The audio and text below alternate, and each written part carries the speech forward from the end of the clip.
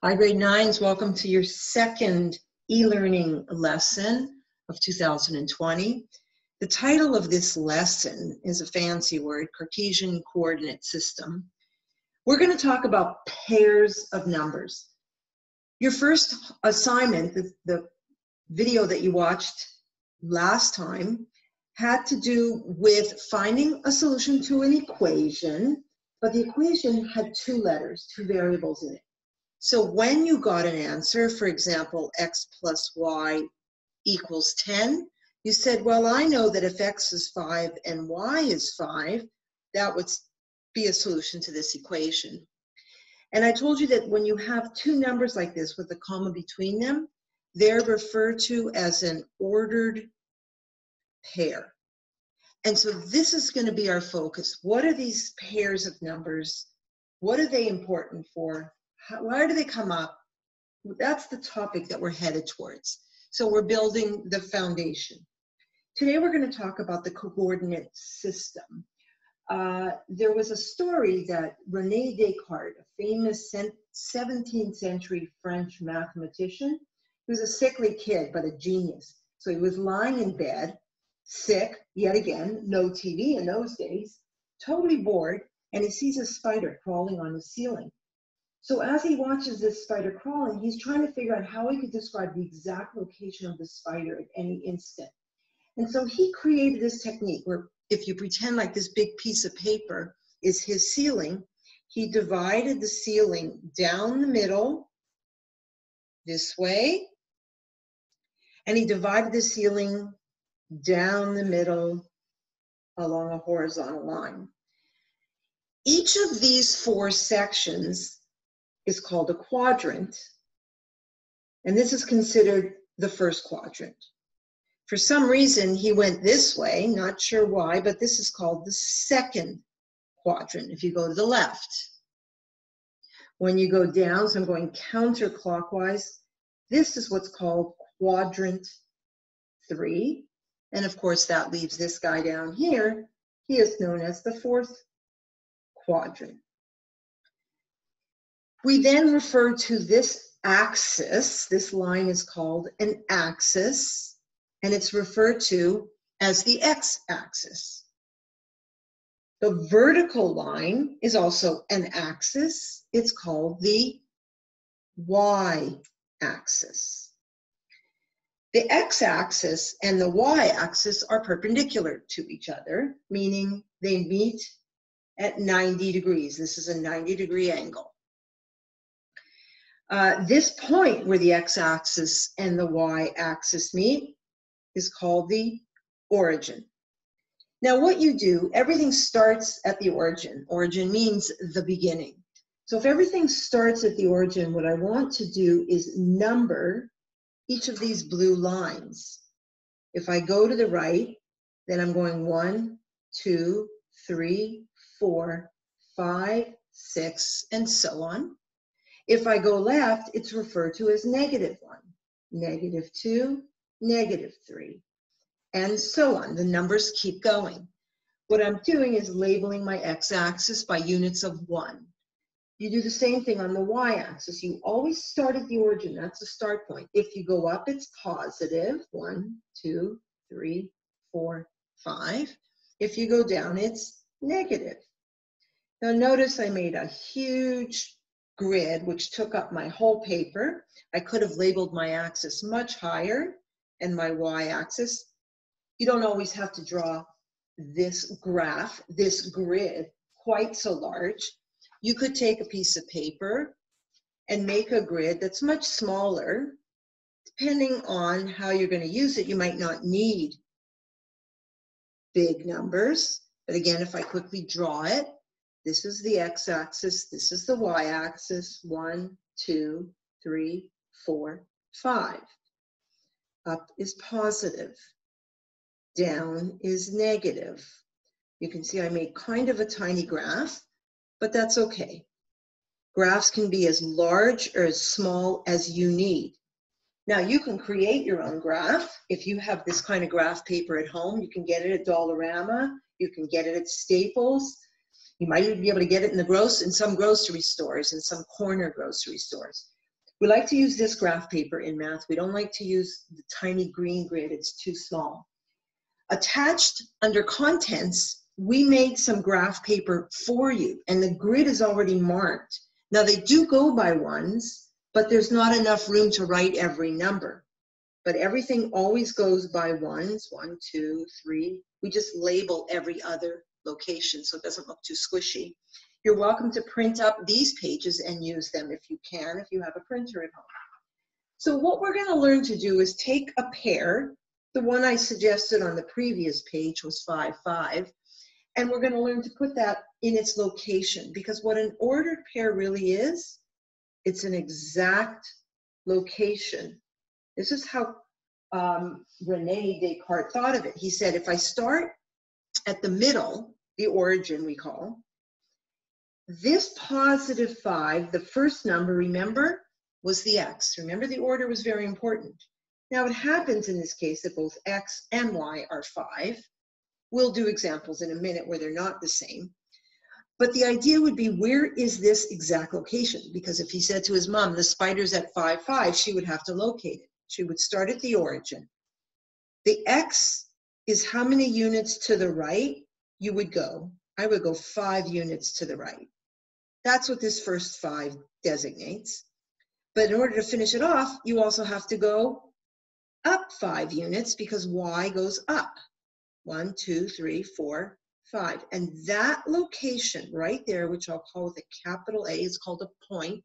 That's an exact location designated by the ordered pair 5, 5. So ordered pairs really are exact locations, points, on a Cartesian graph. And the object of the game for today's lesson is to learn to put points down in the right location. Or if I tell you I have a point B located here, and I say what ordered pair represents this particular point, you would have to start at the origin and count over to B. And you begin by start at the origin and you say, well, I have to go one, two, three, four units to the right. So my X in the pair will be four. And then I have to go down two, which means on the Y, I'm going negative two. And so B is, um, the point B is designated by the ordered pair for negative two. So we're gonna give you a handout for homework. It's also attached. It looks like this. There's points all over the place. So even if you can't print, you can look at the screen and you can say, okay, I know what point A is, for example. This A right here, you start at the origin. So in this big graph, this is the origin. You want to get to A, so you have to go right or left X, right or left, that's X, first. So if I start at the origin, if I'm going to go to A, then clearly I'm going to the left all the way to negative 10, as you can see here. So if you're labeling A, you're going to begin by saying, I went left 10. X goes first, it's left. You then say, all right, if I want to end up at A, I have to go up one, two, three, four, five. And A is the point, is designated by the order pair negative 10, 5. If you decide that A is the point negative 10, 5, then you go down, and this is the part you have to copy. So you would copy these ordered pairs and then you look for negative 10, 5. And where you find a negative 10, comma 5, which has to be here somewhere. If it's not here, it means you made a mistake. Here it is, negative 10, 5. You put the letter A. And if you do the whole thing correctly, you will get a message, which is the answer to the question, what happened after a burglar broke into a tuba factory. So that's one way we're going to practice locating and designating points by ordered pairs. The second skill, probably best to do it on this graph paper if you can print it. If you can't print it, you have to make your own grid, and you can make a small grid. Now, in this question, it looks like this, number 40. It says plot and join these sets of points in order. So I'm going to do an example here where I'm going to say A is the point for negative 6. Then I'm going to say B is the point 3, 2. And C is the point for positive 5. So I want to graph these points in order. This is what number 40 is, 40 is telling you to do. And so I'm going to use my grid up here, but I'm going to do this in red. And so I'm going to scratch those out. Maybe I better not. Maybe I better quickly make a clean, nice grid so that it looks better. So what I'm going to do now is label it one, two, three, four, five. You always have to label it. You have to be neat. You have to label your axes X and Y. As you can see, it would be very challenging to do this without graph paper. So we're hoping that everybody can get their hands on graph paper of some kind, either by going to the Dollarama or hopefully you have some at home. I'm going to put these points in order. So the first point I'm going to put down in red is A. So four, you start at the origin. You always go right or left first. That's the X. So because it's positive, I go to the right four. And then you go up or down second, next. Okay? And those are the Y's. So I start at the origin I go right four, down to six. That's negative four, negative five. And then you label it with an A. Point number one. Now you do point number two, the second point, which is three, two. Start at the origin, go to the right three, go up two, and that puts you here. That's B. The third point, and then it says connect them.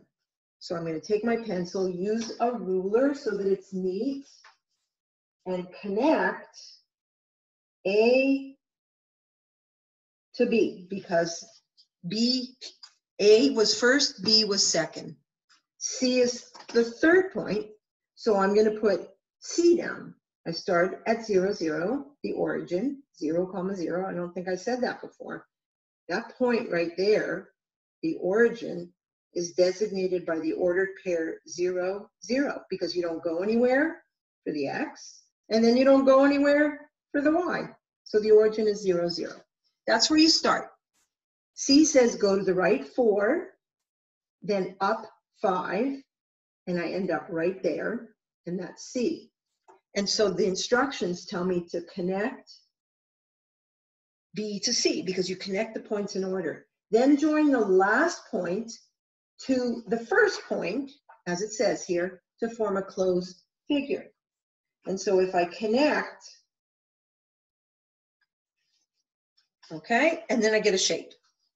And the question says, identify the shape. So I write a triangle.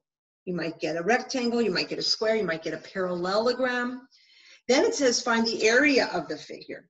So you have to remember that area of a triangle is base times height divided by two, and you have to count out the base and height in this triangle. So here, remember that the height has to be a perpendicular. So if this was the, the triangle, this from A to C would be 1, 2, 3, 4, 5, 6, 7, 8, 9, 10, 11. The base is 11.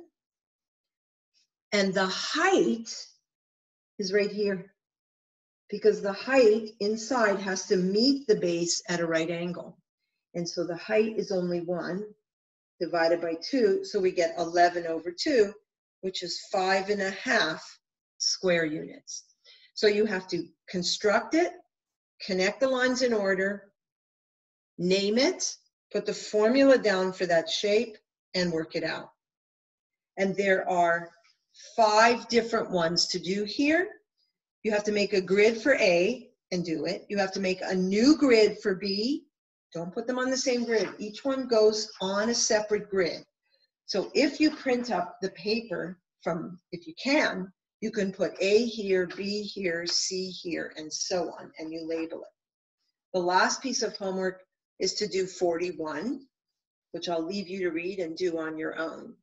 And that's basically your introduction to graphing ordered pairs. As we learn more, we will connect what